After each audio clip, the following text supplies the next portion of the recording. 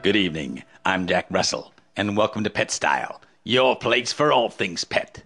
This is the WAG, where you'll find all the news that's fit to line your litter box. Tonight's top story. Some pets think the election is just for humans, but what they fail to realize is how much it impacts us dogs and cats. For example, tax cuts don't just mean more money for your owners, they may mean a new squeaky toy for you, too. And the candidates are name dropping dogs like we're the next Joe the Plumber.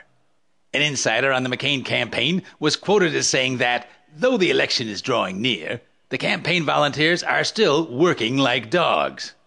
What does this mean? Well, we procured some inside footage of the McCain campaign headquarters. What a lovely pack.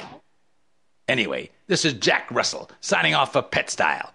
Remember, keep your paws clean, your hydrants marked, and go to petstyle.com for more fun. Good night.